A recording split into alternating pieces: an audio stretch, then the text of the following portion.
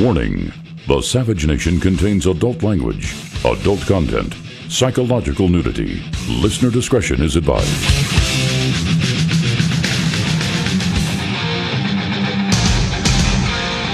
And now, America's most exciting radio talk show, The Savage Nation, home of unprotected talk, borders, language, culture. And here he is, Michael Savage. Sky is blue, sun is warm, and the Islamic maniacs are organizing small armies inside America. But please keep playing uh, theme from a summer place. I don't want to upset all of the Democrats out there. Muslim asylum seeker beheads IKEA shopper in Sweden? Well, keep playing theme from a summer place, though. There's no war. There are no missing emails. Hillary is just what America needs. Donald Trump is an all around bad guy because he stands for borders, language, and culture. Keep on popping your soma.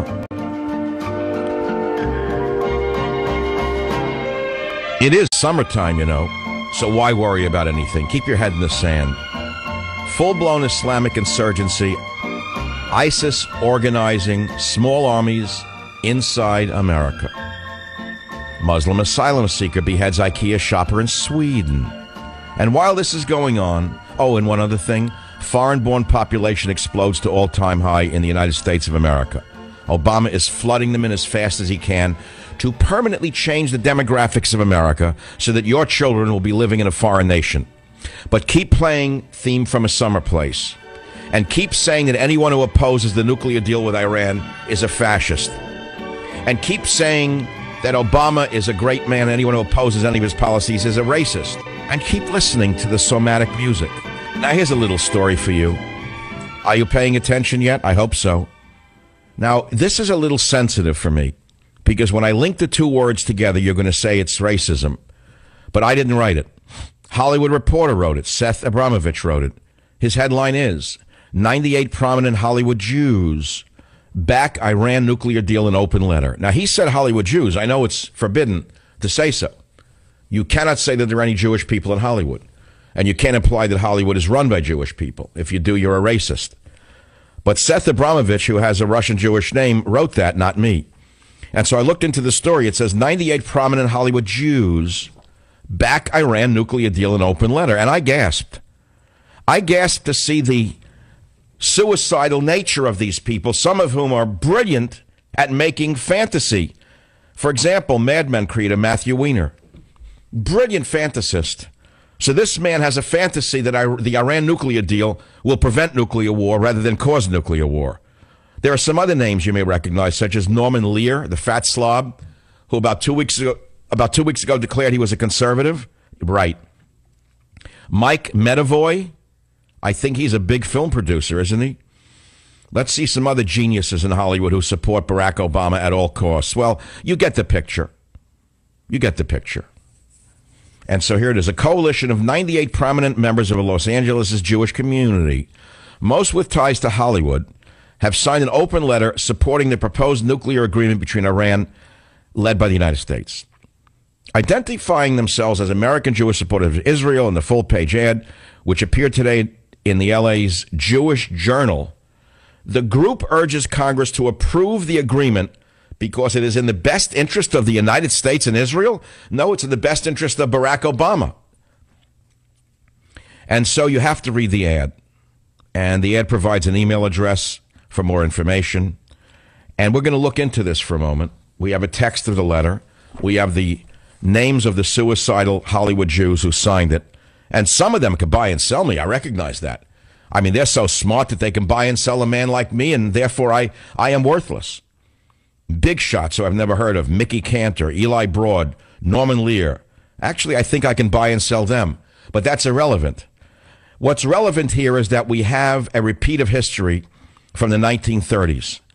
You have Charles Schumer, the most prominent Jewish senator in the United States of America, who was as close to Obama as they come, saying his conscience said he could not sign on that onto that deal.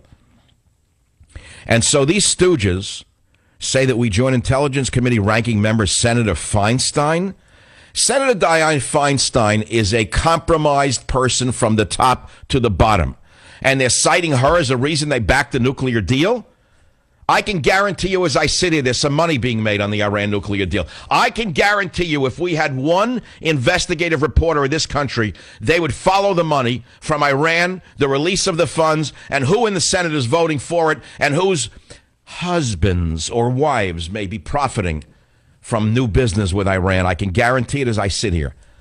I'd bet my undershirt on that one. And so I want to talk about that. I want to read some of the comments on that. I want to read about some of the other stories that are on michaelsavage.com. And I want to read you some of the other stories that I found uh, posted for you. Muslim let daughter drown rather than have strange men touch her. Bring in more of them. You see, we need to have America transformed from an evil Christian culture to something more sensitive like a Muslim culture. Orlando Airport unveils $250,000 Muslim prayer room. I'm not making it up. Is there a Christian prayer room? I don't know. But there's a Muslim prayer room for those of you who need it at the Orlando airport in order to make certain uh, that the uh, reflection room where Muslims can pray will be available to them. The decision was made after Emirates Airlines announced it will soon be offering direct flights out of Orlando to Dubai. A majority of the airline's travelers are Muslim. I have nothing against prayer. But the question is, why is the airport building them a prayer room? Is there a synagogue? Is there a Buddhist temple? Is there a Christian church? I don't know. I have no idea. The airport already has a chapel in Terminal A. And why can't they pray in the interdenominational chapel in the near future? Answer because they consider it trafe. They consider anyone else's prayer room dirty. Bring them in. Bring in more of them. They're so tolerant. They're a tolerant people. You all know that. An inconvenient truth climate change industry now a $1.5 trillion global business. Well, that's an interesting one. You mean it's all about the money? I had no idea. I had no idea. What I want to do now is look at some of the comments on the article where 98 prominent Hollywood Jews who support Obama at all costs, have signed a letter supporting the Iran nuclear deal. As you listen to this soundbite, I want you to hear liberalism is a mental disorder, disorder actually acted out right in front of your ears. What you're about to hear indicates a psychosis, a full blown psychosis on the part of Hollywood, especially Hollywood Jews who have no idea what they are doing. Listen carefully. I love playing frisbee with my sons. I love the sound of the waves on the Pacific at sunrise. I love curling up with a good book. I love to see my grandkids smile. But if Congress sabotages the nuclear deal with Iran, we could be denied the very moments that make our lives worth living. What? Why?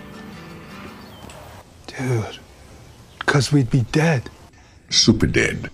Like totally fried by a major nuclear bomb dead. I won't be able to play frisbee with my sons because there won't even Can be you a believe frisbee. you believe you're listening to this? The frisbee will be melted. We will be melted. Or worse. Toasted? Yes, Natasha, but most people think toast is delicious. This not Liberalism is a mental disorder. It would be like Exhibit a really A. dark, unpleasant cloud of death toast. Whoa, whoa, whoa. We're not actually worried about Iran dropping a nuclear weapon on the United States. Holy sh! Is that Yes, Jack, it's me, Queen Noor from Jordan. Look, it is true that if Congress sabotages this deal, there would be nothing stopping Iran from getting the bomb. That would likely spark an arms race throughout the region. Precisely, Ambassador Pickering.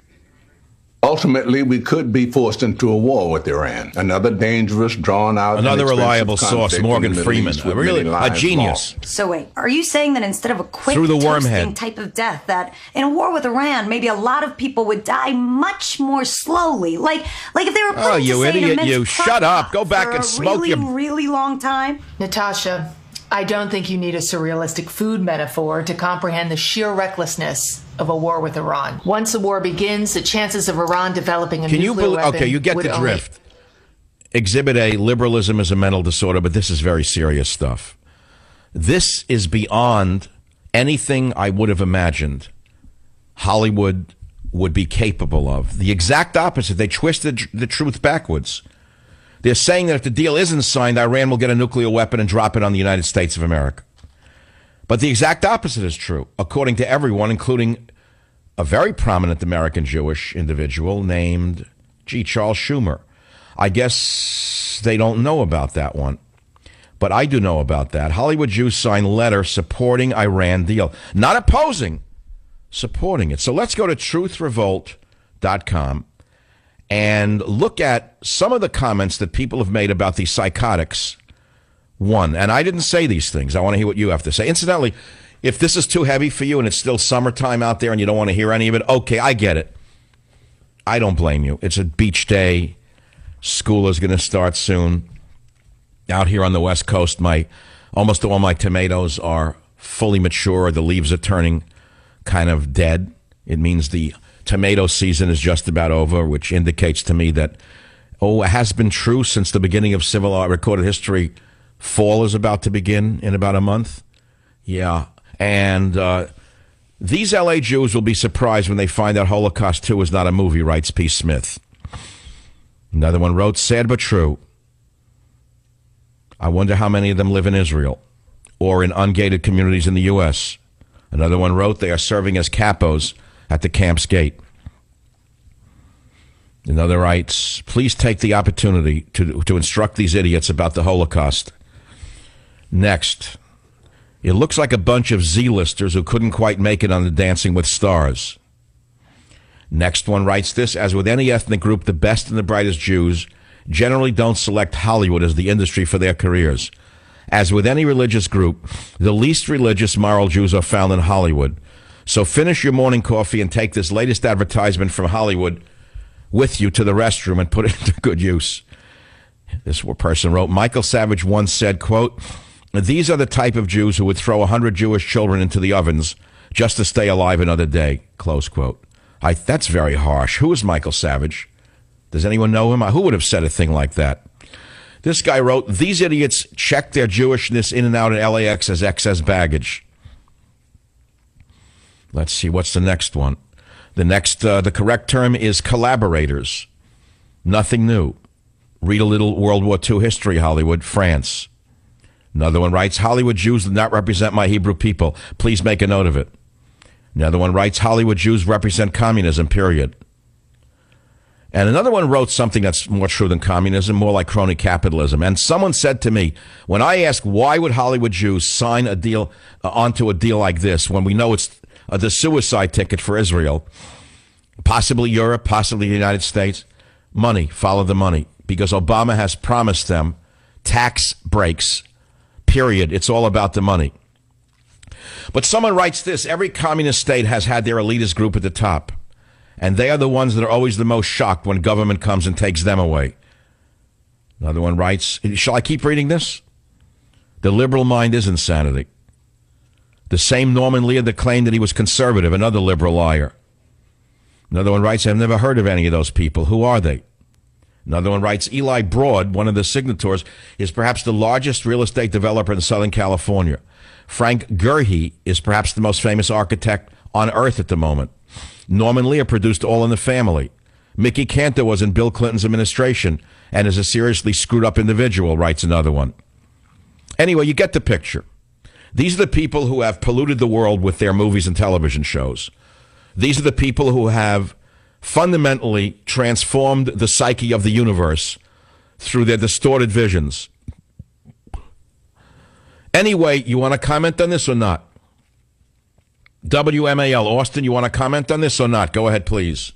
Yeah, I'm blown away that, that I hear those people making those statements uh, when nobody even knows what's in the deal. Kerry doesn't know what's in the deal yet. They're talking like they know what's going to happen if the, the unknown deal doesn't go through. It, it, it blows me away. But can you believe that they would do an ad saying that if the deal is not signed, America will get nuked and they won't be able to play frisbee? Who wrote a thing like this?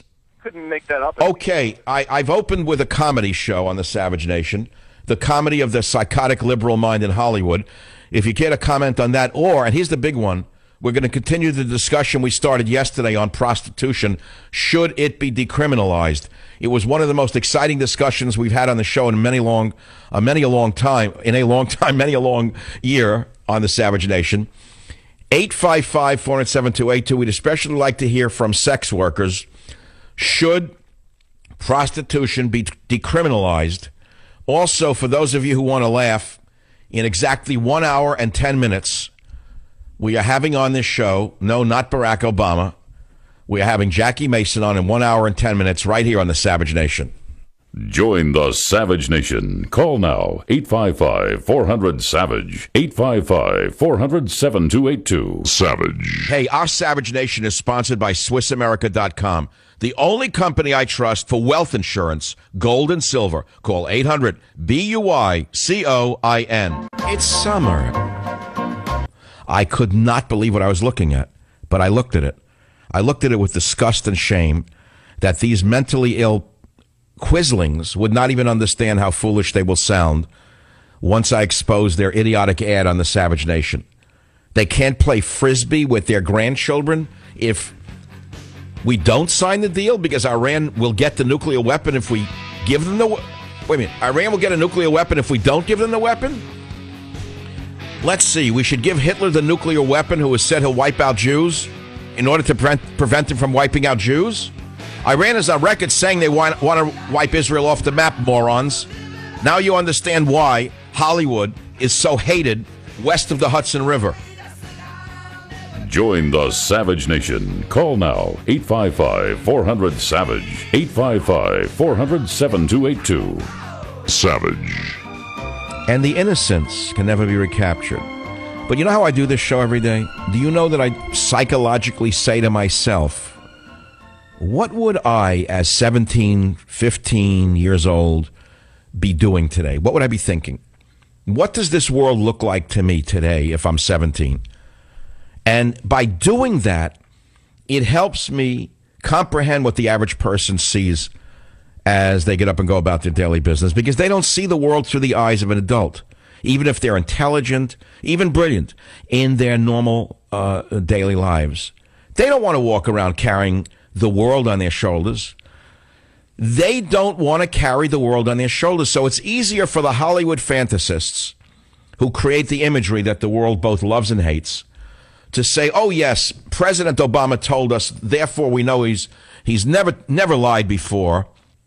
We know what's in the agreement because he told us it's going to eliminate uh, Iran getting a nuclear weapon. They don't know that Schumer said no, and they sign on to the deal. And so I say, how, how crazy can this get?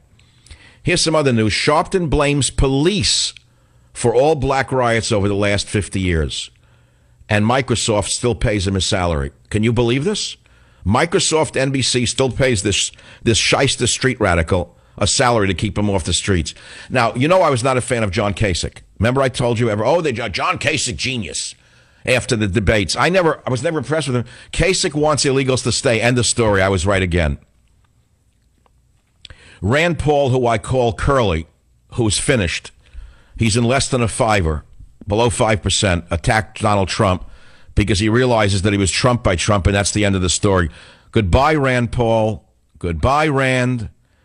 Why don't you just go into the ophthalmology business with your father and leave us alone already?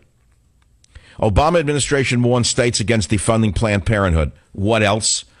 If the government gives Planned Parenthood a half a billion dollars a year in federal grants, and a good portion of that money flows back to Democrats through donations, why wouldn't the most corrupt administration in Argentina's history uh, not warn states to not defund Planned Parenthood? By the way, at um, 1.30 Pacific, 4.30 Eastern, I do have Jackie Mason on. I haven't had Jackie on the show, I would say, in 10 years, more than 10 years. But I, I heard him on the uh, Aaron Klein show. Uh, it was so funny. I can't wait to ask him what he thinks about Hollywood Jews backing the Iran nuclear deal. Only he can take what they've said and twist it around to what they actually think, because I can't even understand what they're thinking. He probably can and he will be with us. Oh, yes, indeedy. I forgot to tell you something. There's some good news that would indicate something's going on. By what's the big topic right now? Legalizing prostitution, pros and cons. I did this yesterday in the last hour and a half.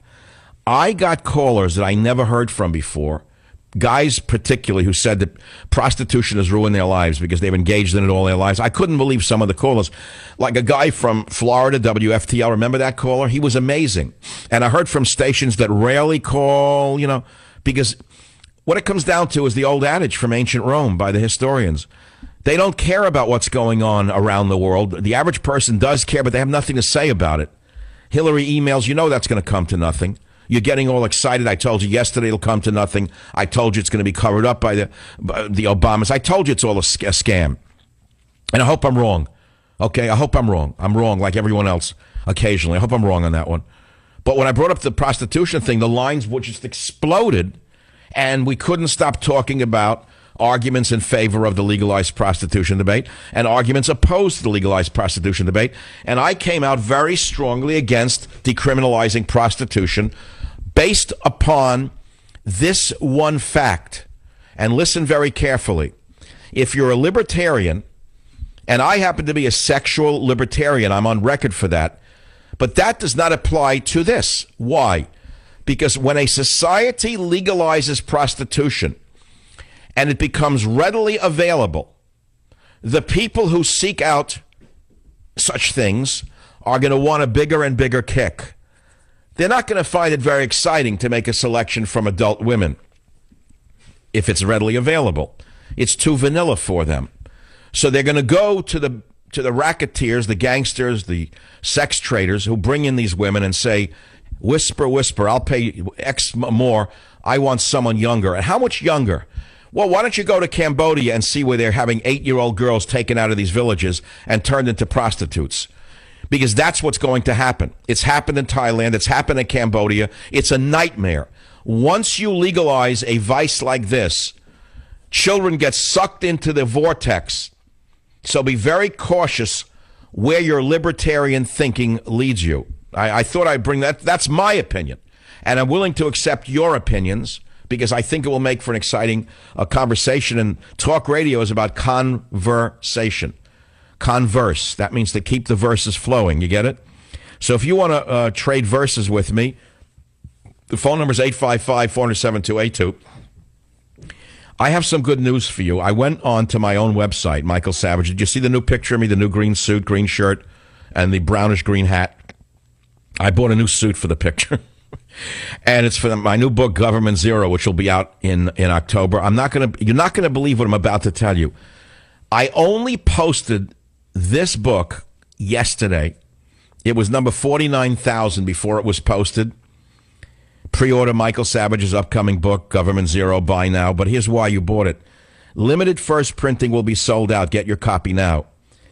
I asked my publisher, I said, this is an interesting publishing fact that you don't know about. Way back when, when I started publishing books in 1972 with Earth Medicine, there was a, um, an interesting thing that went on in the publishing world, which is that when they did a first printing, fine. Then they would go to a second printing. If a book was a big seller, and you'd see first printing 25,000, second printing uh, 55,000, third printing 85,000 if it was a real bestseller. You know how it would keep rolling, the big ones. So I said to the, the publisher, I said, Kate, is there no way to let people know that there's a first printing? Do they still do that, or is that each each printing is the same? She said, no, it's not the same. She said that a first printing has a one after the number on the book. And that makes it a collectible. I said, I have to tell my audience now that because many people want it. It's my last big nonfiction book. That's my commitment right now. And so I did that yesterday. The book went up to a number. This is in one day without promotion, not available. 106 on on uh, less than 100 number 106 i don't know where it is. I don't really know but it's exciting. I think everyone understands what this is going to mean. It's the most important book of our generation. Government zero no borders no language no culture. And if you go to amazon you will see that i'm telling you the absolute truth. Here it is. I cannot believe it number 18 in books politics overnight it was number 12000 yesterday Number 18 already in one day? Yes, because my loyalists will probably want to own this book as part of the books they bought over the, all the years. And I'm not going to read all the books I've written. They're numerous. They're near 28, 30 uh, different uh, uh, books. And I love the cover. I like the, the uh, picture of the nation in my hand. Government Zero. Who could come up with that but yours truly? I look good. Okay, so let's go on to the callers on legalizing prostitution, the celebrities who are in favor of giving Hitler uh, with a headscarf a nuclear weapon. Kurt on WBAP. Welcome to the Savage Nation. What's your topic? Thanks, Doc. Yeah, th- these uh, Hollywood celebrities, they are reprehensible. They know these uh, people that stare up at the screen in the movie theaters have malleable minds. They know that they're quislings, and they're going to respect them for what they said. For, for instance, Jack Black. Jack Black will never get played in this house again. I used to th- I used to think he was a pretty funny guy. And you know what, Norman Lear? Turns out Archie Bunker was right, and you were wrong. Look at Mike. look, look. Yes, the characters he created were quite an extension of his own mind, and he was actually fighting with the smarter part of his brain by creating Meathead. That's right. Look at Meathead. In other, in other words, Meathead was was was actually the real Norman Lear's brain. Meathead was the beginning of what we have now in all our universities and our government. We got all those meatheads running around and now we got all these problems. Everybody goes, everybody's thinking, how in the heck did that happen? Well, we put a bunch of meatheads in charge. So thank you, Norman Lear, for enlightening us, you big dope. See, that man didn't get mad. It's summertime, and he understands not to get angry. Uh, male dancer. Oh, this is good. Rob on WABC. Thank you for calling. What is it that you're saying on which topic? Michael, about the legalization of prostitution. I was a dancer. Oh, oh, oh, Rob, Rob, I'm sorry. I didn't catch it. Talk a little slower. You're breaking up. Sorry about that. I was a dancer uh, for two years as I was going through med school, actually, the whole stereotypical thing. And I would actually say it's better to legalize it for the safety of the people involved in the industry because oftentimes your tips might get withheld um, if the boss is short, running short for the month. Or. Um, Wait, well, let me see if I understand. You were a male dancer while working your way through medical school, so you're a doctor now? I'm almost a doctor. I'm in residency right now. All right. No, it's interesting. So you you were a male dancer in what? A male club or a female club? Well, on my second point, actually talking about the stuff um, where you said if you legalize it, people are going to go for the more extreme stuff. I would actually be offered extra money if I wanted to do a party for gay men as opposed to dancing for women. So this stuff does happen even in legalized industries right now, which would be dancing. So I, oh, wait, wait, but but you you're an adult, and you were an adult while you were a male dancer. I mean, as you were dancing, but don't you think that this would tend to suck children into the into the web? I think the allure of easy money could suck the children into it, and that's why I think if you regulate it and you have very strict penalties for it, that would help protect the workers who are already. But, but Rob, listen, listen. You're you're a guy who's really closer to this than I am. Look what's happened in Thailand and Cambodia. There, the poor country people are selling eight-year-old girls into into prostitution.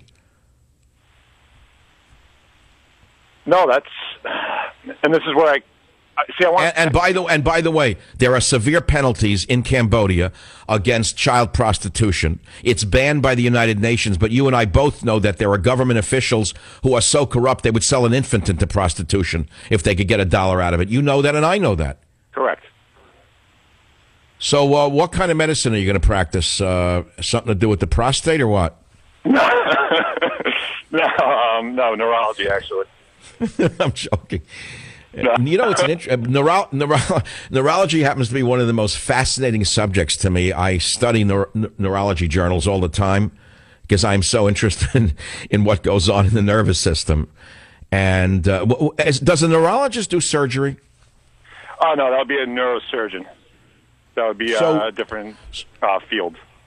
Interesting. So the neurologist would look at things such as strokes, uh, that type of thing. He would, but um, that could a stroke could also be part of the cardiovascular system. So uh, you would probably go to a general practitioner first, and then he would refer you to a specialist based on. So, why would a man so educated as you listen to this show? Is it because you're waiting for me to have a stroke on air because of the pressure I put on myself, and you think I'm one of the people who belong in Ripley's Believe It or Not? What attracts you to this show, Rob? I'm very because you're an unusual caller. You're an unusual caller in an unusual profession. You're a male dancer who's about to be a doctor, a neurologist, no less, and you love the show. Why? Oh, I'm a conservative. I agree with you on about 95%. A conservative male stripper. I got to somehow, Michael. I mean, hey, what's the difference if it's legal and the people are over, uh, you know, over age? What's the difference? Well, sure, of course. This is all based on consent. I mean, I was I wasn't trafficked into being a male dancer. It was my choice. Stop it. Now you're pulling my leg. No, that's a dangerous word, trafficked. Um, so, Rob, how did you get into male dancing? That's an interesting thing. I mean, it, what, what, what does a medical student do other than, what, what do they do to work on the side to make money? There's a, I think this is more common amongst women that uh, I do know some of my. Oh, so women in medical school are strippers. Well, if you remember the story, I believe I think this happens in law school too. I think it was the uh, who was the girl from Duke that was doing this like for she was actually in pornography. Well, I could see a, a woman about to be a lawyer being a stripper because we know where that comes from the uh, hooker with a heart of gold. I understand that. I'm sorry, I'm I'm trying to make too many jokes at one time on an electronic medium that's hard to transmit without using my eyebrows. Okay, Rob, so you say it should be legal and you you don't feel it would pull children into it. Yeah, well, we would need the all right. to make sure. All right, he says there's there's got to be very strong uh, penalties for child prostitution, which I agree there should be a death penalty. How would that work? Would that work if there was a death penalty for child prostitution? Both those who uh, trade in the children and those who engage with children should be executed within 30 days with one appeal. Would that tend to put a damper on uh, abusing children? I think so. I'll never forget, and I, I got to do this quickly. When I went to Malaysia many years ago, I was shocked coming into the Kuala Lumpur airport. There was a gigantic billboard, and it said, uh, drug possession is punishable by death in Malaysia. I was stunned. That tended to, to put a damper on drug dealing uh, in Malaysia. You see what I mean? I'll be back. Join the Savage Nation. Call now 855 400 Savage. 855 400 7282. Savage. Your Savage Nation is sponsored by SwissAmerica.com. It's the only company I trust for tangible assets, gold and silver. Call 800 B U I C O I N. Very same quisling, insane liberals in Hollywood who are saying give Iran the bomb to avoid a nuclear uh, war are those who are saying bring in more Muslims because they're all peace loving. Are you ready for this story? Because you better hold on to your hats. Muslim asylum seeker beheads IKEA shopper in Sweden. Go ahead, change the dial. It's just a right winger talking. But if you want the truth, pay careful attention. A Muslim asylum seeker beheaded an IKEA shopper in Sweden and killed another one. It was a mother and son, by the way. The IKEA superstore, reported by Breitbart.com, reported this.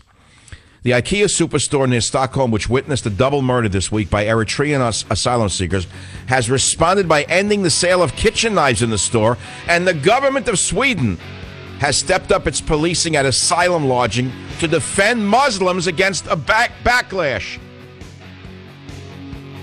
He cut off the head of a Swedish native mother and her son. They were only in the country four weeks, and they went berserk and kill non Muslims. Join the Savage Nation. Call now 855 400 Savage. 855 400 7282. Savage.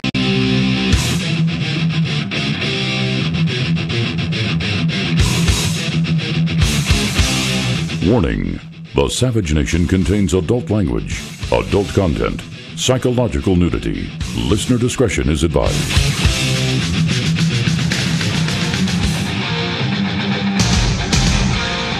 And now, America's most exciting radio talk show, The Savage Nation, home of unprotected talk, borders, language, culture. And here he is, Michael Savage. You know, I don't like falsetto. I don't care for it all. Welcome to the show. I'd rather hear a Percy Faith's uh, theme from a summer place. So when I hear this song, it harkens back to an innocent time for me, an innocent time for America. And now we live in anything but innocent times. We live in a time when the government itself has turned on the people. We live in a time when the government is flooding America with illegal aliens who are alien to our way of life. We're living in a time when the government is stealing taxpayer dollars at a rate nobody could ever comprehend in order to spend money at a rate nobody could ever support. We're living in a time uh, when we have a government seeking to give a nuclear weapon to a nation that is on record saying they will destroy the state of Israel and then Europe and then the world. And that's why we play songs such as this. And instead of talking about that, and uh, the article that I led with in the last hour is still astonishing to me 98 prominent Hollywood Jews back Iran nuclear deal in open letter. And they include, I don't know, intelligent people like Matthew Weiner of Mad Men. I wouldn't say Norman Lear is intelligent, I would say he's senile. The other names I truly don't know, but they're apparently very important in their own mind. And they came out in favor of the deal with Iran, even though the deal will give Iran a nuclear weapon, which they say they will use to destroy uh, Israel. These atheists, I don't know what else to call them. Uh, I, I, made up a, an acronym, JINOs, Jews in name only. I, it didn't really stick. Maybe it applies. I've heard the phrase fallen Catholic, a lapsed Catholic. Lapsed Catholic. I've had Catholic people say that they're lapsed Catholics. I, I kind of find that amusing. But Jews like this are linos, which uh, is sad. But that's not what people want to talk about. You want to talk about should prostitution be legalized, pro and con. That's what you really want to talk about. And 855 407 I received an email from a friend in New York City who said this Savage, under, the, under de Blasio, the mayor, there has been an explosion of brothels in and around Wall Street.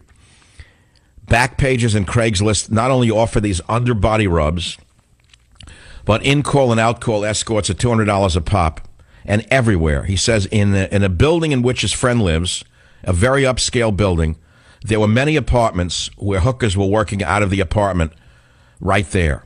And he said it gets even worse. You won't believe this. He said they had their Johns come up dressed as delivery men with those green vests and fake food packages. So that's what socialism brings prostitution and terrorism. 855 400 7282. Again, another story that's so shocking, I have to read it again. Muslim asylum seeker beheads IKEA shopper in Sweden. That's the headline. A Muslim asylum seeker from Eritrea who had only been in the country for four weeks went into an IKEA store and cut off the head of a Swedish mother and her son shopping in the Västerås branch of IKEA, the largest in the country. Immediately after the attack by the newly arrived immigrants who shared a room in a government asylum shelter and had only arrived in Sweden less than four weeks before, Swedish police were rushed to protect not Swedes, but migrant communities from, quote, dark forces in society. Local police across the region have been tasked with taking these measures to be there for safety purposes for everyone there, those who work there and those who live there, said Västmanland police spokesman Per Agren. And IKEA has responded to the be- beheading of the mother and son by the Muslim by eliminating knives uh, from the store. Now you understand when I say to you government zero. Now you understand what I mean by government zero. Now you understand what I mean by the leaders of the Western world, almost all of whom are socialists, whether overtly or covertly, who are destroying the nations that elected them, where the real citizens the real citizens of the nation have almost no voice. That's what I mean by government zero. Sweden is suicidal, and it's interesting that Sweden is held up by our president as a model. You see, Democrat socialists like Obama always point to Sweden as their model of a socialist utopia. And take a look at what they've done to the Viking nation. How is that even possible? That a nation as proud and as militant as Sweden once was has turned into a nation of what word do you have that could describe a beaten nation? A nation beaten into a pulp by cowardly, quisling politicians. And who is going to save us from these hordes? Who? Barack Obama? Who on the Republican side is going to save us from this influx, whether they be from Eritrea or from Mexico? Tell me who. Tell me who's going to stop this onslaught. Who? But that's not what you want to talk about. It's an old story. What you want to talk about is the prostitution issue. And I think it's an important issue because that's something we can do something about. And why am I talking about it? Because Tuesday, Amnesty International, a socialist front group, as far as I can tell, I don't know who funds them, but I, I, suspect they're not as good as, as, as they may appear. Amnesty International called for the decriminalization of prostitution. Also, in this hour, if this is not enough for you, we have the one and only great Jackie Mason coming up in about 20 minutes. He will be performing October 24th in Westbury, New York at the NYCB Theater at Westbury, JackieMason.com. He'll be with us in about 20 minutes to uh, give us his opinion. Sarah, WABC, your opinion on the prostitution issue. Go ahead, please. Uh, Michael, if you legalize prostitution, one of the things that's going to happen is that it's, become, it's going to become readily available, which means it'll be much cheaper. And what's holding back people, men, from cheating on their wives right now? So that's, that's going to lead to adultery because it'll be easy, it won't be illegal, which then will lead to divorce, which then will lead to messed up children, which then could lead Okay, so now you know why the socialists want legalized prostitution, which is to further destroy the institution of heterosexual marriage. Absolutely. Because people kept saying, why would Amnesty International make that an issue when there are so many other issues on the planet, such as the sexual mutilation of Muslim girls, the trafficking of, of, of girls by ISIS? Why are they making this an issue? Because they haven't done uh, uh, enough damage to marriage. They need to do it even more. So that's what you're saying. Yeah, and, and the truth is, and I agree with you on the children, because if it's so easy to get over the border now as an illegal, you can have children come in, take their ages, you use that, they're that much cheaper, and it really destroys the entire institution of family that we have in this country. Well, now you know why socialists want legalized pro- prostitution because it further diminishes the sanctity of marriage. And the reason for marriage, for many men, by the way, is sexual. Isn't that true? Yes, possibly. I mean, I mean, Sarah, let's be clear. Don't you think a lot of men get married just for the sexual uh, access? Eh, I don't know if I would say that across the board, but there may be. I'm sure there's a demographic of them. Well, but your implication is that because of legalized pro, see if you- you're implying that most men are in marriage for the sex, and that if there's legalized prostitution, they get sex that's legal for very little money, they wouldn't get married. So that's an interesting concept right there to think about. But I thank you for having the the wherewithal to call the uh, show the Savage Nation. Mike on WABC in New York, go ahead. What's your opinion? Part of the allure of going to toots is the criminality of it, and um, I think it loses a lot of its appeal for those of us who enjoy it if it's legal. You're saying part of the allure of going to prostitute is that it's dangerous? That it's criminal, and there's a certain um, excitement knowing you might get caught. Well, by, by using that logic, we should legalize everything that's illegal. If you say it's a thrill seeker seeking a thrill because it's illegal, so legalize heroin as well? Well, I mean, no, no, of course not. But um, that it, I'm just saying from my own personal experience that that I, I would be less interested in it if it were legal. You would be less interested. So you, you indulge? Yes. All right, so then speak speak from your experience. You get a thrill up your leg when you go out looking for a hooker? Yes. And I don't even necessarily have to land one. Oh, wow. You mean just just just hunting gives you a thrill? I'm not going to say hunting. That's a little bit too misogynistic. Let's say shopping. Okay, so where do you do your shopping? Online or you walk the streets at night? The latter. Not during the night. In New York City, I assume, Mike. I'm not going to get more personal, but saying in New York City, you can walk around and look for prostitutes? No, I'm speaking of a different city, Newark, New Jersey. Unbelievable. And what, you just drive around and look for them? Yes. Unbelievable. Aren't you worried about disease, Mike? No, because there are certain uh, certain methods to prevent that. Well, I'm not so sure of that. I mean, you just you're you're playing Russian roulette, Mike. You know, we all hear that uh, condoms prevent sexually transmitted diseases, but they don't 100. percent You know that. Maybe this is another part of the appeal to me. What? That you could get sick and that you can get sick and die? Yeah.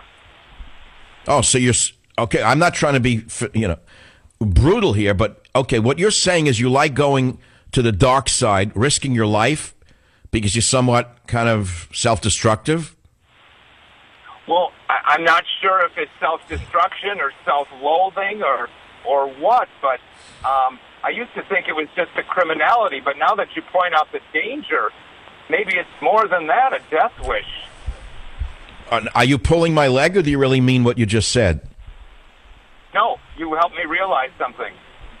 Well, let's go down the list of potential diseases you can pick up from a hooker in the streets of Newark that you may not be aware of.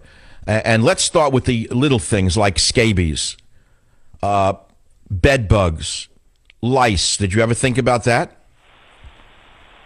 You're making me a little bit uh, skeevish. Can we stop? All right. Well, well, or maybe maybe you should think about it. I mean, because there are diseases that are not readily thought of as uh, sexually transmitted, but they are, and they're dermatological in that case. I, I hope to, that you don't find this question uh, offensive. Are you in a relationship, or, or are you married? I have to go. All the best. Oh, thank you. Okay, you see what just happened? You see, th- this was an interesting call, and I don't want to capitalize on human pain, but here was a man calling a national talk show to have allegedly an intellectual discussion about legalization of prostitution or not. And before long, did you see what happened? It became personal, and he learned something by by speaking about it, he was actually having what you would call here a confessional. This is a, a confessional moment on the Savage Nation. He confessed that he was in a, was married. He seeks hookers in Newark. He didn't think about diseases, and he, he got very nervous just now. Maybe his life will change for the better. He realized that he was playing Russian roulette and he was somewhat self-loathing and suicidal. This is something that talk radio, by the way, used to do on a regular basis. This used to be the métier of talk radio, where the callers were king and where people had transformative experiences with hosts able to bring them to that moment. I'll be right back. Join the Savage Nation. Call now 855 400 Savage. 855 400 7282. Savage. My Savage Nation is sponsored by SwissAmerica.com, the only company I trust to protect my wealth with gold and silver. Call 800 B U I C O I N. Talking about bed bugs, the FBI has picked up a blank Clinton email server. This woman is so evil. She is so evil that after this liar gave the FBI the server, along with the thumb drive that contained copies of these classified emails, we now learn from the lawyer for the Denver based computer services firm Platte River Networks, which took control of the liar's server. She said that the server is blank. This is right out of something you would see in the age of the generals in Argentina. And I want to remind you of something about Hillary Clinton. Remember the Nixon years? You can read about it if you don't remember it. Do you remember what happened then? Do you know what they did to Nixon for a few minutes of missing, erased White House audio tapes? The liberals who are rushing to the defense of this liar are the very same lying liberals who sought Nixon's head for 18 minutes of erased White House audio tapes. She erased the server because what was on it? They will argue, well, what difference does it make? So, what she did here is very interesting. She can still be charged with obstruction of justice, which won't happen, but she will not be charged with a violation of the Espionage Act, which would require a jail time. I mean, she wiped the server clean after its contents were requested by the FBI. Tell me what businessman wouldn't be in prison the next day. Tell me what CEO of any corporation, if the FBI said, we want the server, and they give it to him after they, they, they clean it, jail time. And incidentally, 1974, Hillary Clinton was a member of the Presidential Impeachment Inquiry staff during the Watergate scandal. Do you know that she was fired from that for lying? Lying. And that's what you want to be president? This slimy Clinton's back again? How can you still be a Democrat? I can understand if you're in favor of helping the poor or you want liberalism in your social beliefs. Why would you elect someone who is so slimy? Is that the best you can offer America? A slime ball like this? Dude. Savage. And I, Michael Savage, am a mere kid in a hotel in the Catskill Mountains. And on stage, there appears a young comedian with a lot of black hair. And the owner of the hotel is an ex boxer, a pugilist. Of course, the people didn't understand that he was the greatest satirist of our time. And they fired him the next day. And I remember him very well. He doesn't remember me, but he's with us right now. Jackie Mason, welcome to the Savage Nation. Jackie, a real honor to have you on the show. Thank you, thank you. It's a pleasure, my friend. Happy Jackie, Jackie, I'm eating my kishkas out over a story I read this morning. 98 prominent Hollywood Jews back the Iran nuclear deal in an open letter. How can you how can you deal with this? I'm not surprised the Hollywood crowd is always on the wrong side of every issue. They're always so super liberals, and they always support anything that's said by anybody who's liberal. If they hear a liberal voice, they don't know what he said. They're not sure. They never read a paper. They're basically a mob of ignorant people. They're just egomaniacs who spend their whole life standing in front of a mirror. If, you talk to them anything but themselves, they never heard about it. They never saw it, but have an opinion on it, and they have it, and and then they become furious because they hear that the conservatives or the Republicans are on this side, and they all they know is that they're on the other side. They don't know why. They don't know what the subject is. You could bet your life that all these people who just signed this don't know what they signed. They didn't even have a piece of paper in front of them. all they know is which side is the president on, and they know That's it. Liberal. So, so Jackie, Jackie, they sign a letter saying give Iran the bomb so they can kill Jews, and they're Jewish members of Hollywood. Are they crazy? Do you know that when they take a poll in Hollywood of the opinions of the actors, by far the biggest percentage of them are not even in favor, are not in favor of Israel against the Arabs. They're, they're on the Palestinian side of the issue. It's hard to believe. It's unimaginable. If you told this to people, do you know the Democrats, the Democratic Party membership? You remember at the convention when they when they mentioned the idea of Jerusalem should belong to Israel, that uh, Jerusalem should be an Israeli city. Yes, I do remember what happened. Yes, the Democrats voted against it. They started booing it. They started booing the country. The the, uh, the Hollywood crowd hates Israel. You would think Israel is is, is a Nazi organization because they hate Israel more than the Nazis. They hate Israel more than they hated Hitler. So here's another one for you, Jackie. Hillary, uh, the FBI picked up a blank Clinton email server. What do you have to say about that one? I can't hear you. What did you say? Okay. The FBI picked up Hillary Clinton's email server, and guess what, Jackie? It was blank. It was blank. What do you think about that? She doesn't say they picked it up. She says she gave it to them. She gave it to them because they were there with the there were twelve FBI men standing in front of her, and they said, "Where is it?" So she says, "I gave it to them." You would think she came to their house. And she, and she purposely surprised them with it. You would think she volunteered it. You would, you would think she did them a personal favor to make sure they have more evidence. So she decided to help them out. It turns out they were standing in front of them, twelve FBI men with their guns in their faces. You know what's going to happen? The the uh, Clinton machine is very powerful in this country. She and her husband could get away with anything. I won't be surprised if the FBI winds up in jail. Oh, that, oh, for breaking the law, for even for breaking for breaking the law. for disturbing her because they came into the house and I with the Whaley. They said, Yeah, no, that's true. I didn't I didn't think of it that way. They did disturb her. She's in the middle of a very important campaign.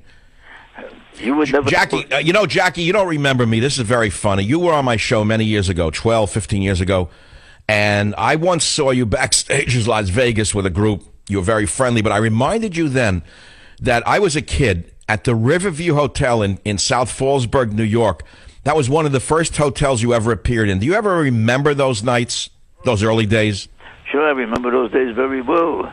Those days, I went from one hotel to the other every day. I was, I did the same thing that uh, that Hillary does, but was taking a different position every day from one to the other.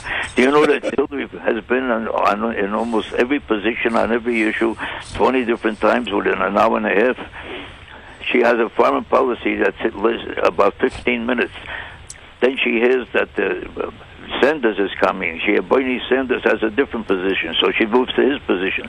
Then she hears that uh, Elizabeth Warren has another position, so she turns to that position. She she turns left, turns right, turns left again, depending on who the opposition is and where it's coming from.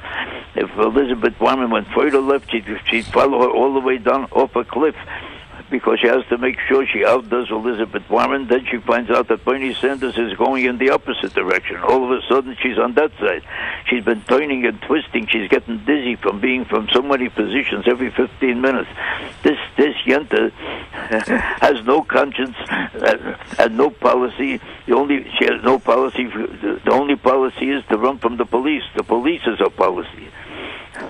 Jackie, let me ask you something. You and I both come from New York. You're a little older than I am, but we know the type of Jewish communist that Bernie Sanders is. Lifetime member of the radical socialist group since he's a child. How can this man attract such attention in a nation like this when he's such a schlemiel? I'm not at all surprised that he's attracting that much attention. It's all an anti-Hillary vote. People are so nauseous from her with her different positions on every issue every 15 minutes. She's such a floundering, uh, preposterous character that they want anybody but her. They can't find anybody, so they saw a guy with a big mouth screaming, and they said, "Thank God, at least there's somebody there," and they'll follow him any place just to get away from her it's, it's all right. Oh, no, that explains why. I mean, I, un, unto himself, the man is not that appealing. He looks like a typical 1930s ILGW socialist screaming on a uh, on a soapbox in Union Square. That's right. He sounds ridiculous. He sounds preposterous, but they don't care. They don't care as long as they hear another voice coming from someplace. It could come from a sanitarium, and they'd go there. They'd go any place to get away from her. what? Okay, here's a tough one for you. I, Jackie, I happen to favor Donald Trump. I, I maybe I'm stepping into a quicksand with you. What do you think about Donald's candidacy? I think Donald Donald Trump is a phenomenon. It's an unbelievably brilliant thing that's happening because uh, they talk about people tapping in, tapping in. You hear the word tapping in, you think you're going to a vaudeville show. It sounds like it's vaudeville. Everybody is talking about tapping in, that he's tapping into a nerve that is represents the fact that everybody in America is nauseous and furious about the about politicians in general. Every politician makes a speech, and after the speech he gets lost, and nothing happens. Then he makes another speech, nothing happens again. And they know these are recorded, meaningless speeches like Rubio. You ever listen to Rubio? Rubio. Oh. Rubio sounds like a broken record. He's when, when, Rubio sounds like a, a, a kid, a child selling ice cream on the streets of Miami. Jackie, you're going to be performing October 24th, which is very uh, near to this date, in Westbury, New York, in, in Long Island, at the NYCB Theater. What will the performance be? Another one man show, The Life According to Me? What's it going to be? Every time I do a show, it's uh, there's no one specific subject or one issue. I talk about everything that's happening in general, everywhere in America or everywhere in the world what, what I talk about the the presidency. I talk about what a preposterous system the presidency is. Take a look at take a look at the way they run these uh, these debates. Is there anything more idiotic than the debates? You have one minute to express all of your thoughts about foreign policy, America, domestic policy, anything that's happening everywhere in the world, and you have to do it in one minute. If you happen to breathe a little slow, oh you lost the debate, and you have to and you have to make sure you tell a better joke than the next guy because they don't remember any policy or any position. They just remember who told the best one-liner or the best joke. The next day, that's all they're talking about. So it becomes a comedy contest. If this was 50 years ago, Groucho Marx would be the president. so, are you a fan of Megyn Kelly, the the woman who attacked Donald Trump? I don't. I mean, you probably saw right through her act, right? But that was such a phony, stupid, preposterous question that she asked him, and then she followed up with a more preposterous question, and then the, then you know what happens? What happens is that a guy like him is liable to become president because he doesn't have any credentials. This is the only uh, job in the world is the presidency of the United States where you have to have no background, no credentials of any kind, and you have to prove that you don't know nothing about the subject in order to get the job. Did you ever hear of a job where you have to know nothing in order to get, even if you want to become a plumber, you have to prove you have experience in plumbing. But to become a president, you have to have no experience, no knowledge, no information. You have to uh, never heard anything about the job. Up in order to become a plumber. Why do you think the toilets in America are working so perfectly, but the government is full of it? well, that, that- take a look. Take a look at take a look at Barack Obama. He had no experience. Look where we are today as a result of it, and yet he gets away with it. The man still has charisma. How is it possible after so many disastrous policies and dragging America over the cliff of socialist in- insanity? He still has a popularity rating that's so high. His popularity rating is so high because exactly because he doesn't know what he's doing. That's exactly why his popularity is so high. Be- Because listen to this: they, in America today, if you want to be a president, take a look at what happens. You have to know nothing about anything because there's no there's no uh, preparation necessary, and there's no and there's no standard. There's no. Take a look at you. From they protect you from a bad haircut in this country. If you want to become a barber, you have to pass a test. The union demands that you guarantee they have to uh, graduate high school to become a barber. Did you know that you have to graduate high school? There's a standard to become a barber, but there's no test to become a president. They protect they protect you in this country from a bad haircut. I, you know, when you were you were on you a couple of weeks ago, you said something about people in New York City are, are more protected from a bad tuna fish sandwich than they are from a nuclear weapon. What was that about? But uh, that's what I said. I said this a number of times. This is so true. They, give you 28 days. 28 days they give you. They give Iran to find out exactly what he's doing over there with the creating a bomb. They give him 28 days notice. So for 28 days, they assume he's going to do nothing. He's just going to wait to show you the bomb. For 28 days, he could put the bomb in the toilet. He could leave it in the kitchen. he take it no fear. He could do whatever he wants with it. Days to show you the bomb. But it's an amazing thing. it's an amazing thing in, in in New York City when they inspect when they inspect the restaurant. They give you no notice. You just pop in and you catch them if they if they uh, they put from a bed fish. From, there's no protection. Jackie, Jackie, you- you're the greatest satirist of our time. I love your humor. And I hope that the people will visit your website, jackiemason.com, and they will flood uh, the Westbury NYCB Theater on October 24th to see the Mark Twain of our time, the Yiddish Mark Twain of our time. Thank you, my friend. It's a pleasure talking to you. Thanks so much. What a kick it was for me. Been a long time. Jackie Mason on the Savage Nation. That brings us up to a break. When I come back, calls on any of the topics right here on the Savage Nation. Join the Savage Nation. Call now 855 400 Savage. 855 400 7282. Savage. My Savage Nation is sponsored by SwissAmerica.com. It's the only company I trust to protect my wealth. Call 800 B U Y C O I N. You got to understand what a big kick that was for me. I mean, when I was a kid, Jackie Mason was uh, a grown man, a young one, who had just appeared in this little hotel. I remember it to this day, the Riverview Hotel, South Fallsburg, New York. I never heard of him. No one knew who he was. He was just starting out. So, like all stand up comedians, he did his shtick. The owner threw him out the next day because the people didn't get him. They didn't laugh. Here's the story. I always knew this guy would go far. Why? As he was leaving the hotel, fully dressed, trench coat, holding a suitcase, the the guys, and they were pretty bad guys. They were uh, bus boys, waiters. They picked him up and threw him into the swimming pool, fully clothed. And I remember my, my heart went out to this guy because I said, What are they doing? They threw him in the pool, and you see his suitcase burst open, all his possessions floating in the water. He's soaked from head to toe.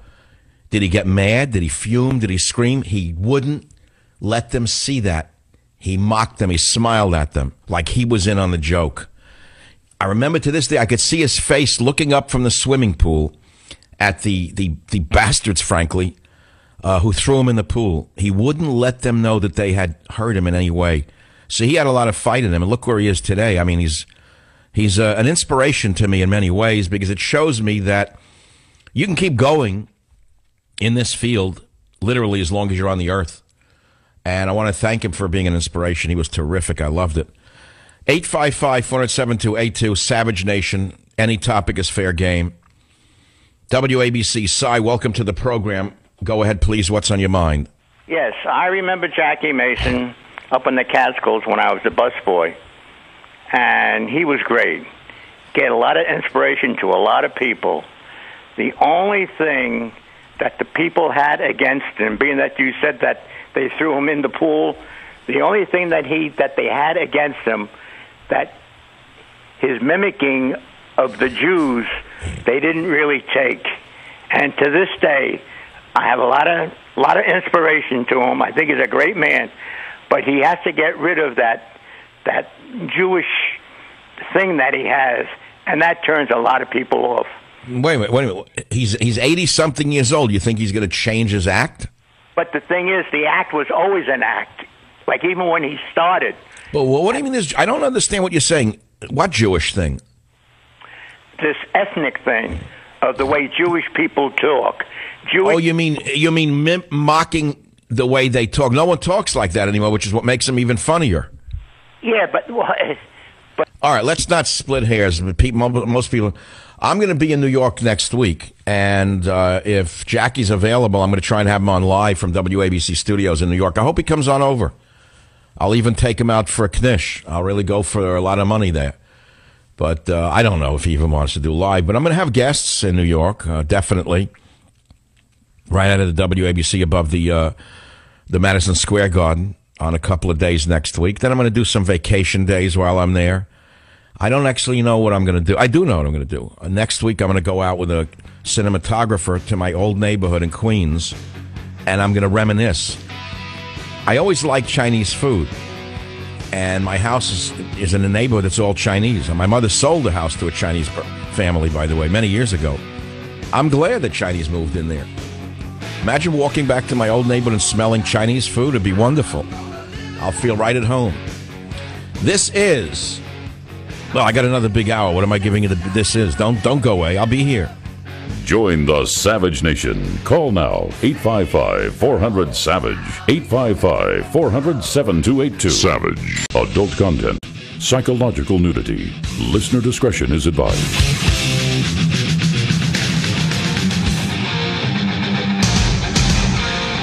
And now, America's most exciting radio talk show, The Savage Nation, home of unprotected talk, borders, language, culture. And here he is, Michael Savage. Let me hear. Oh, the New York, New York is very good. New York. It's a big thrill for me. I'm a hermit. I live in San Francisco. I keep to myself. And uh, taking off on uh, next week on a broadcast out of New York City, WABC. It's a big deal. I haven't done it since last August. I don't go anywhere. I really don't because I have everything I need at my fingertips. What's the point of going anywhere? But while I'm there, I'm going to do a number of interesting things, try to get some local guests on the show who you may be interested in. Last hour, of course, if you listen, we had Jackie Mason on, and he's still a kick. He always gives me a chuckle because he has a way of cutting through the, uh, you know, he sees it for what it is and he turns it into a way that's very, very funny. But what's not funny are the issues of the day and the liars who are running us off the cliff called politicians. Now, if that's overly harsh, I apologize in advance. However, there's no other way to explain what they're doing to us other than destroying the nation. There's no uh, nice way about it. It's that simple.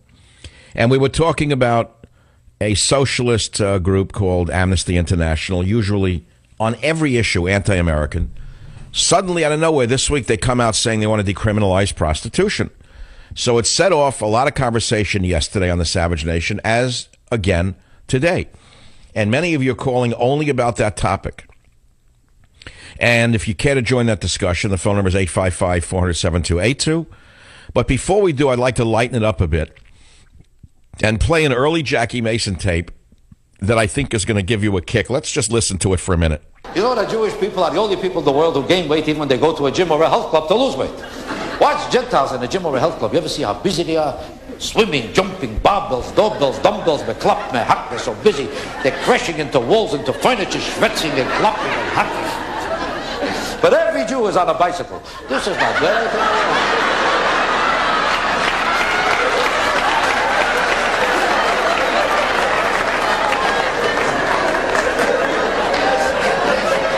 The proof is, if you take a look at any Jew, his chest is collapsing, but his legs are blowing up from the butt. Everything I'm telling you is the truth. Why do you think you never see a Jew in a bar? You never see a Jew in a bar. I don't mean a real pickup joint where lowlifes run around picking up girls like this man.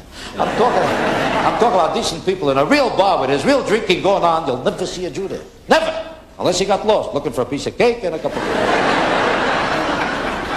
Because a Jew is not comfortable in a bar. They're not comfortable there. Just like a Gentile is not too comfortable in a restaurant. When a Gentile walks into a restaurant, they're very nervous. They walk in like, how do you do? May I sit down? May I sit down? How long should I wait? Nine years? Why not? Is okay. You ever see how a Jew walks into a restaurant like a partner? Hello!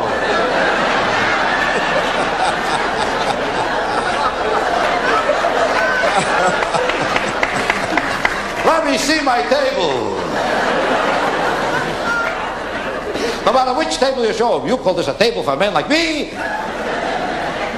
I don't sit so close to a wall, so far from a window. My wife don't like the face this way, I don't like the face that way, we don't like to face this way.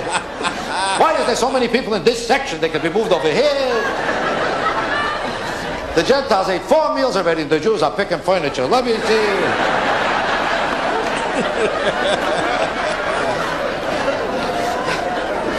It takes them three hours to pick out a table, then they start a whole new fight. Why is it so drafty here? You ever see you ever see Gentiles online in a restaurant? If you don't serve them for 12 years, they'll never complain before them. They didn't come in before he came down. He sat down before he got up. He walked out before he came forth. I'll sue that bastard, that son of a... and meanwhile, the Gentiles are sleeping and sleeping. All right, that's enough. It's very funny. I needed a laugh. It's just, it is summertime. I figured maybe you want to laugh along with me. I love his humor. And uh, it was a pleasure to have him on the show to talk about Hillary Clinton's uh, blank email server and uh, the 98 Hollywood Jews who signed uh, an ad to give Iran the nuclear weapon so they can kill Jews. It's unbelievable to me, the insanity going on in the world. And sometimes only humor can save us from the, from the mayhem. The mayhem is just out of control. 855 407 You know the topics. Let's see what you have to say about it. WBAP in Dallas. Matthew, what's your topic? Go ahead, please. Savage, I love Gentile jokes. Okay, I get it. That's funny.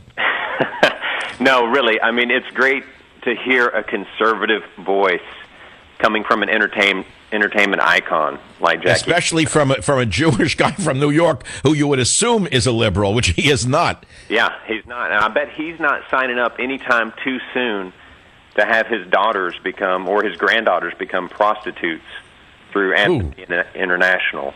He knows that. Okay, so you so you want to talk about the legal de- uh, prostitution story? Go ahead. Yeah, yeah. Uh, I, I was just going to say, prostitution is an erosion of the soul. Talk to any woman out there who's been forced to do that to to make a living or put food on the table. Talk to any man who's desperate enough to go and, and use that service, and you're going to be talking about depraved individuals people who are okay. I, I agree with you, but I want to ask. I want to state a point. I have read where certain prostitutes have said, "What's the difference between my selling my body and a wife who doesn't really care for a husband sleeping with him for the benefits that she is uh, accruing or gaining by doing so?" Isn't that a form of prostitution? You know, how do you know what's in that that truly in that woman's heart? If if she is married out of convenience or for the money, that's sad and that's tragic, and I wouldn't wish that on anyone, man or woman. But she's not actually out taking cash from from various people, spreading diseases, like you said earlier, uh, continuing that lifestyle, not trying to to better herself or or the world around her. All right, that's a fair that's a fairly good argument.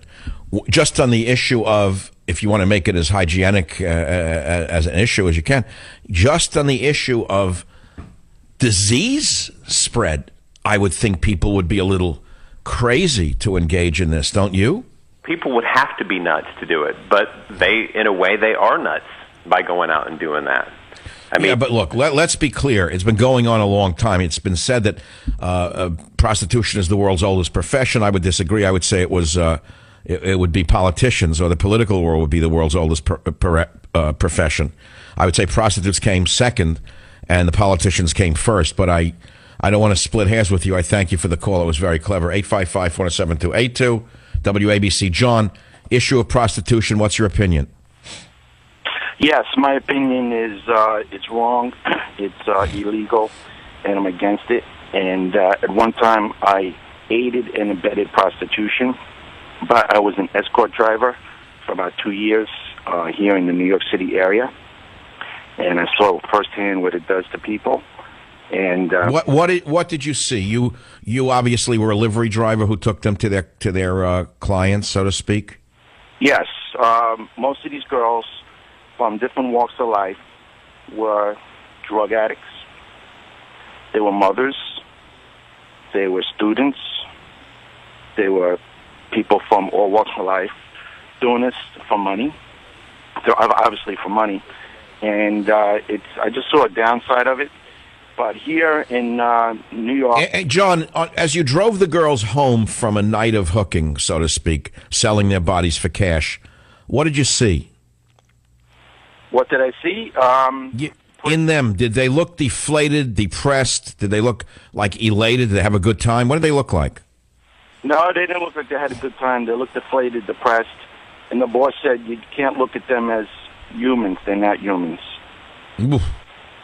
And, oh boy. Uh, yeah. So. So, I mean, so do you feel? Do you feel personally guilty and ashamed that you were involved in it? Is that what I'm hearing?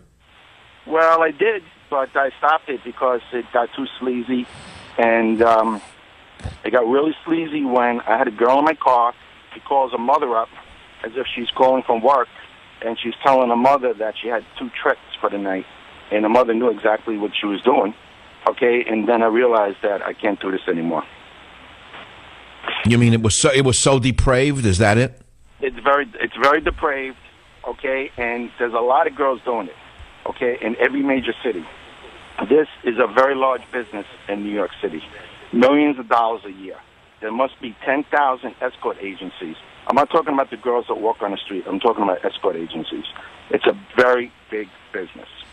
Okay. I, so if you if you go to a hotel in New York City, an upscale hotel, and you see an ad for an escort, does that mean prostitution?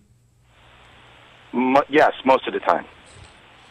Well, but it's illegal, isn't isn't it illegal though, uh, John? When the girl gets there, what if the guy, uh, you know, overtly says, "I want sex and I'll give you whatever you want"? Doesn't what if she's a, a decoy? He can go to jail, right? Sure, I could have went to jail also, aiding and abetting, because they used to turn over the cash to me, and then I would turn the cash over to the boss. You know, like to. Oh, oh, oh, oh! So you were more de- deeply enmeshed in this than uh, than you care to talk about. I get it. I never got caught. Um, we used to travel at night, 8 at night to 8 o'clock in the morning is when most escort agencies operate. And but John, how did you get out of this business? Uh, John, look, you're dealing. You're talking about dealing with heavy duty underworld people. Uh, aren't you afraid to talk on the radio?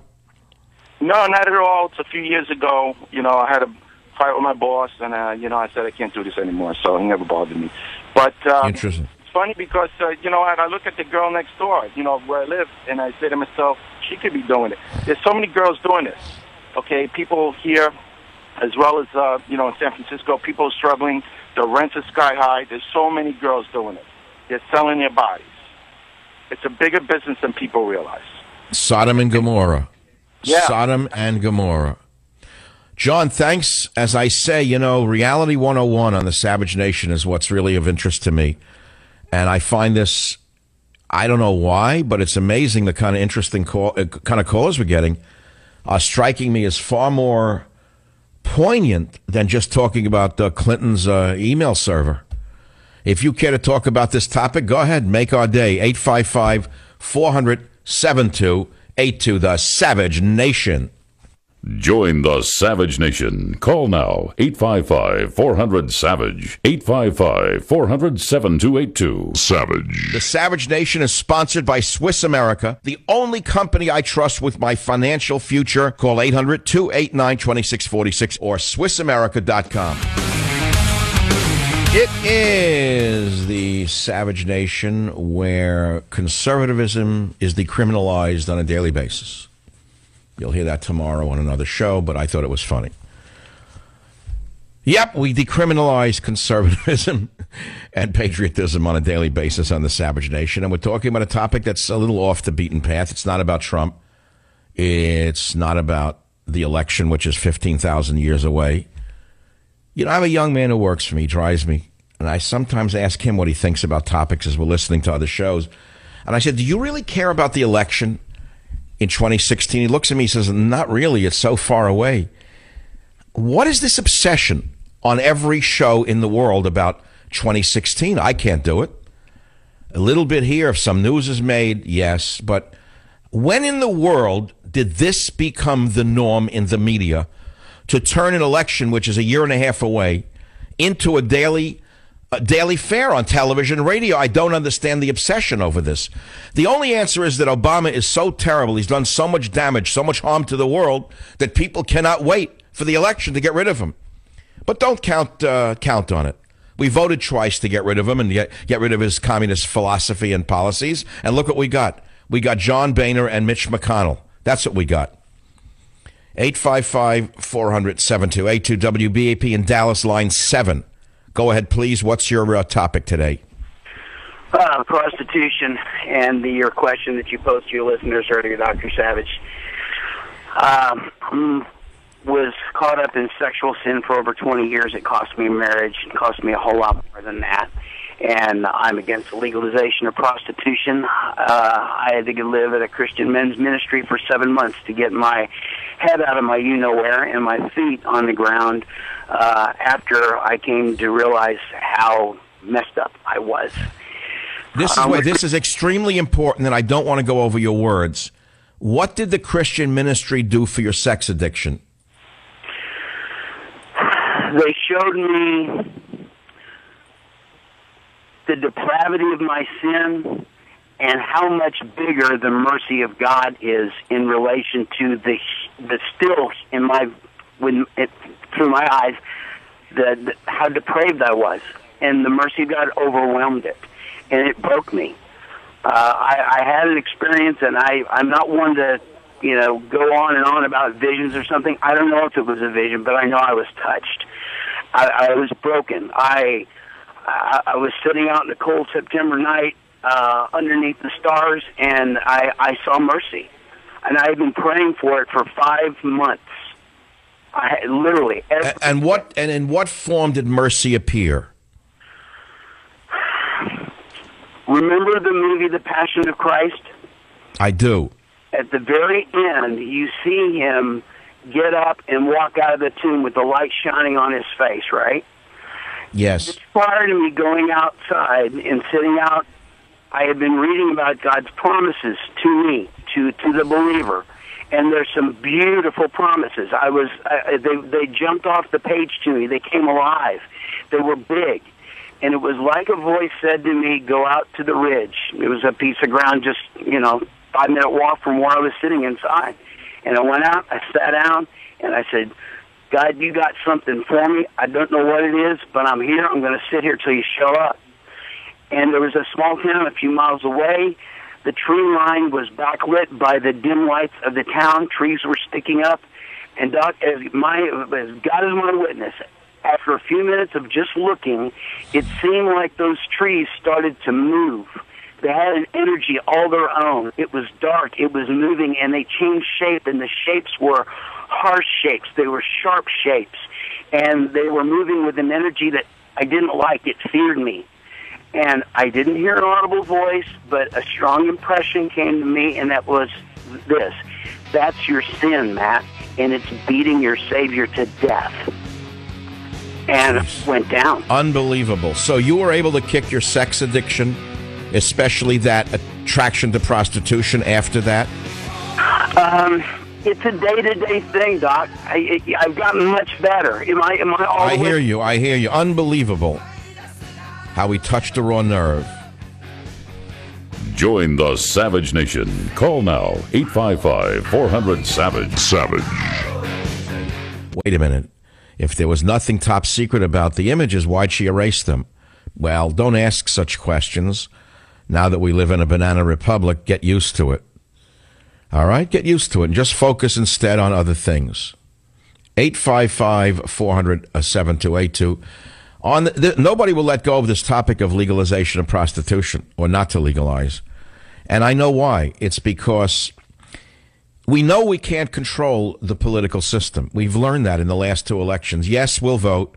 Yes, we'll vote for any Republican over any Democrat, socialist, Islamist. I get it. Yes, we'll continue to listen to our favorite conservative talk radio shows and uh, go to the you know websites attached to them. But we really know it almost makes no difference. We're living in a dictatorship, a one party monopoly.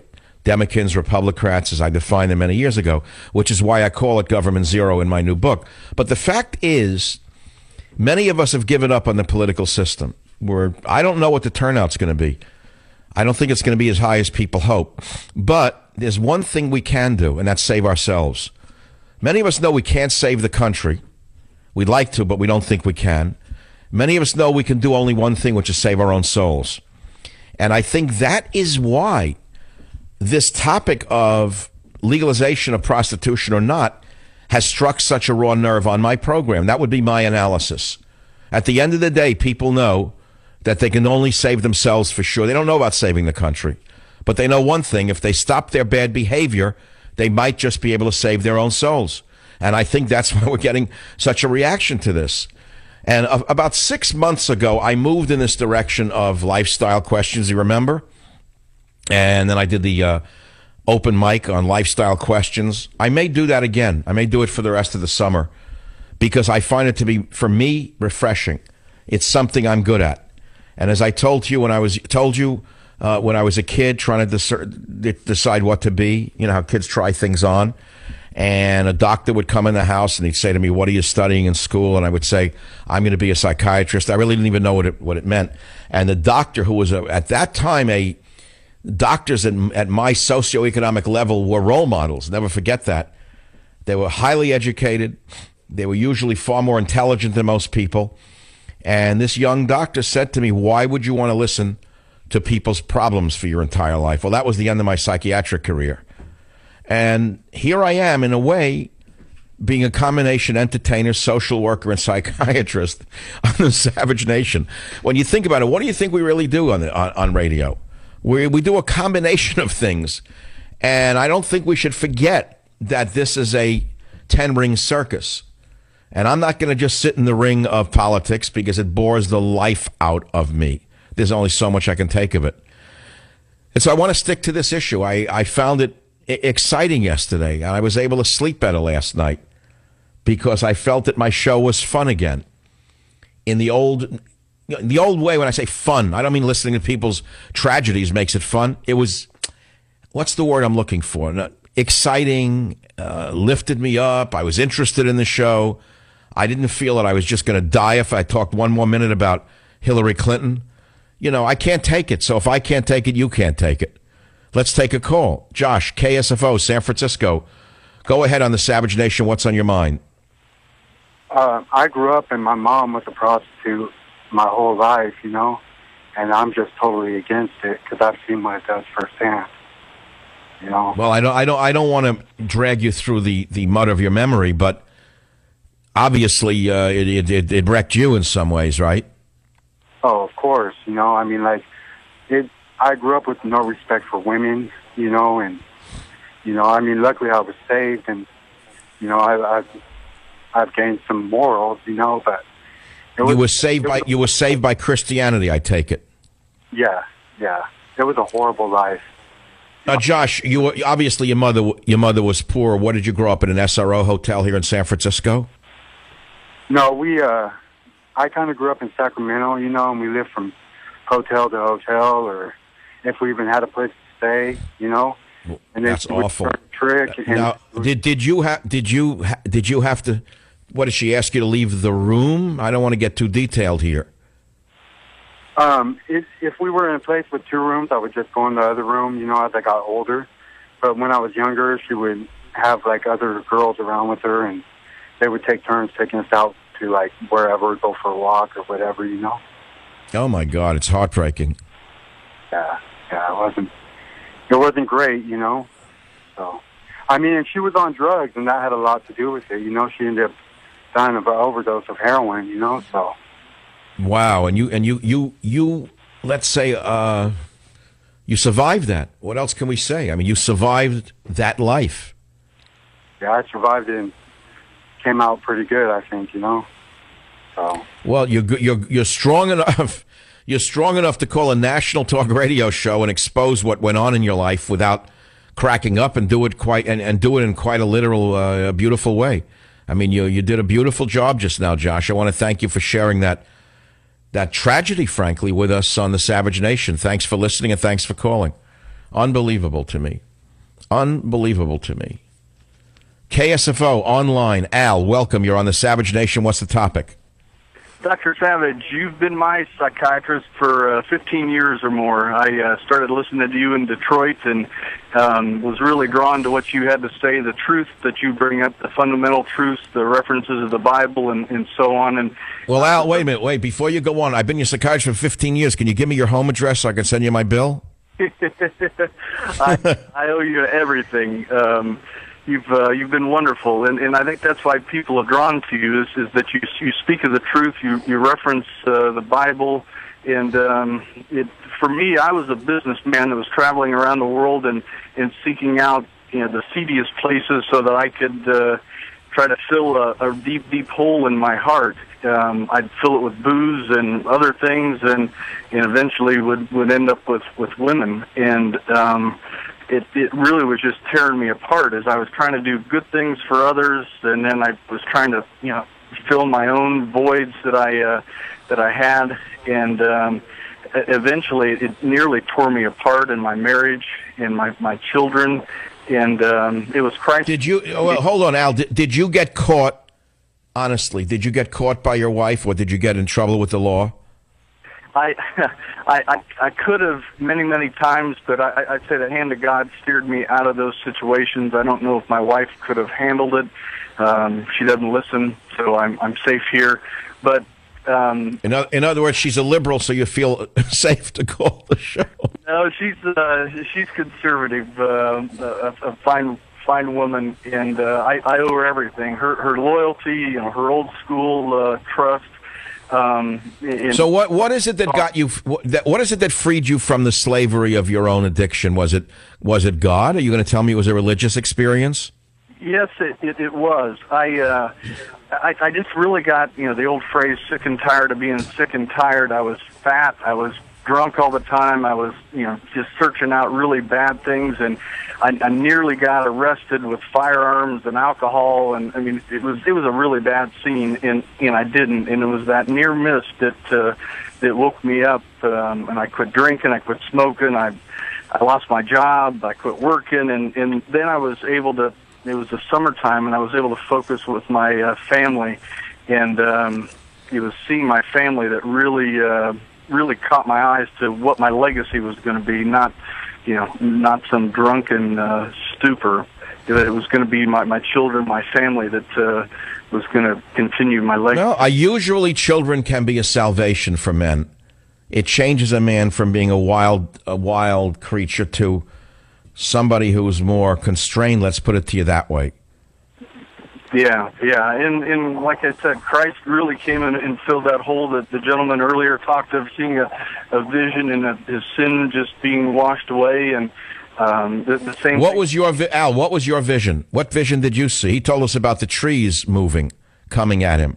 I, I can't say that I, I had anything that vivid. It, it was it was just the the guilt and the release of um, you know, all the guilt and anxiety and all the cover-ups and everything that, that was just simply washed away, and it it was shed in tears and um, and weeping, and um, it, it was just a, a an amazing relief to uh, to know that I was forgiven no matter what I had done, and um, you know that no one is beyond that. And I was in some prison ministry even after that, and to be able to relate to men and, and women. Wait, wait, I missed that. You you were a prison minister, or a you were in prison ministry? I was in prison ministry after I opened my eyes to see what was being done. I, I joked that I was serving my sentences, uh, you know, a few hours at a time. Oh, so you would, would go in and talk to the criminals about salvation, and in doing so, you were saving yourself. Uh, yeah, more than uh, more than I know. And um, I Well, that's the that those those situations usually make for the best teachings, whether it be in mathematics or anything else. Uh, to be honest with you, the best teachers are often in those situations. Al, thanks for listening. We're getting great callers. And the uh, upright among men is no more. Read the Bible. Thou shalt eat but not be satisfied, and thy sickness shall be in thine inner inward parts, and you shall conceive but shall not bring forth. That sounds like sterility. Well, for me, this is the one I like this time of year, last of the summer fruits in Micah 7, where he says, Woe is me, for I am as the last of the summer fruits, as the grape gleanings of the vintage. There is no cluster to eat, no first ripe fig which my soul desireth. This is unbelievable. The godly man is perished out of the earth, and the upright among men is no more. They all lie in wait for blood. Amen to that. They hunt every man his brother with a net. Their hands are upon that which is evil to do it diligently. The prince asks, and the judge is ready for a reward. And the great man, he uttereth the evil desire of his soul, and so they weave it together. The best of them is as a briar, the most upright is worse than a thorn hedge. This is pretty good stuff. Put not your confidence in a familiar friend. Keep the doors of thy mouth from her that lieth in thy bosom. For the son dishonoreth the father, the daughter riseth up against her mother, the daughter in law against her mother in law. A man's enemies are the men of his own house. So if you think that the social discord and the familial discord that has become so prevalent in our society is new, I'm afraid to tell you it's as old as the Bible itself. This is the Savage Nation. I'll be right back. Join the Savage Nation. Call now 855 400 Savage. 855 400 7282. Savage. Hey, our Savage Nation is sponsored by SwissAmerica.com, the only company I trust for wealth insurance, gold and silver. Call 800 B U I C O I N. Yeah, welcome back to the uh, Savage Nation. Look, this show is an addiction to a very hardcore audience and has been for a number of years. I don't know what the numbers are. People, you know, they say this number listens, that number a million. No one really knows. But at the base of it, there's a hardcore audience for every one of these shows in radio. Each one of us has our own specific following, and then there's an overlap. And I know many of you who are uh, what I would call the hardcore savage, savagette listenership, usually listen for more than an hour a day, and you listen as often as you can. And you know me for many, many years ago, and you know that this is the type of show that I made my reputation with. It was never really reading the news and then talking about politics. Anyone can do that. It's easy. It's Talk Radio 101. Everyone can sound smart reading someone else's article. Radio is hard when you go outside of the websites. But I began in radio before there was a website. Do you know that? And I have got to tell you something.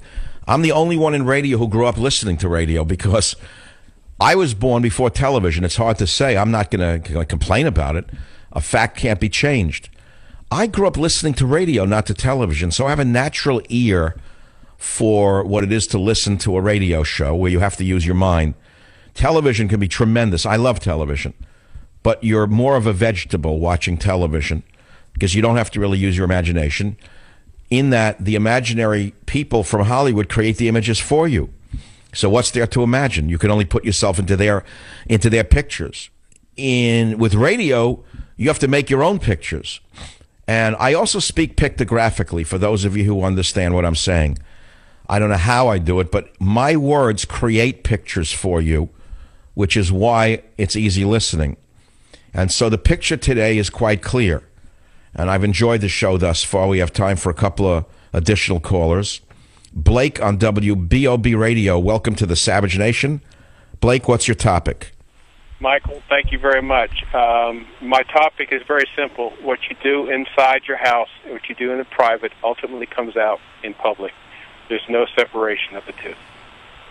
Meaning? Well, if you think about uh, the references to the white whitewashed coffins, what our where our hearts are, where our minds are, ultimately will be reflected in our actions and our words and our deeds. Yeah, okay, but uh, there are not always consequences to that. FBI picked up blank Clinton email server. We know that she conducted a criminal act. We know that she committed espionage. We know that any other citizen would go to jail for what she did. And we also know nothing's going to happen to her. I'm, I'm speaking more to the cultural issues you've been talking about. No, I understand, but but when you but here's the thing: when you look at these dem- demagogues like Hillary Clinton getting away with virtual espionage, according to this these articles, which are shocking, satellite images that she that she sanitized off her server, anyone else would go to jail for this. I agree with you. And so what I'm doing is I'm saying to you, yes, we the little people have to pay for our sins. Then why do people like her not have to pay for their sins? Why? WVLK Radio, Mark, go ahead. You're going to be the last caller of the hour. Fire away. Yes, Dr. Savage. I just wanted to bring something up that's not been discussed yet, and I think it's going to have a huge impact, not just on prostitution, but on human sexuality. With the advances in artificial intelligence and advanced servo systems, robotics will dramatically affect human sexualism. You see it in Asia already. Um, think about the ability to go up and order any race, any size, any shape, any age that you want. Whoa, whoa, whoa! What you mean a, a robotic? A robotic? This is a, a crazy. You're saying that it would be legal to have an underage robot as a sex partner? About it. Think about it. What? It's not a human. This brings in a whole different. Well, now there's going to have to be laws about that. My God, what an interesting idea that is. What an interesting idea that is. Thanks for listening to the Savage Nation, and don't forget Government Zero.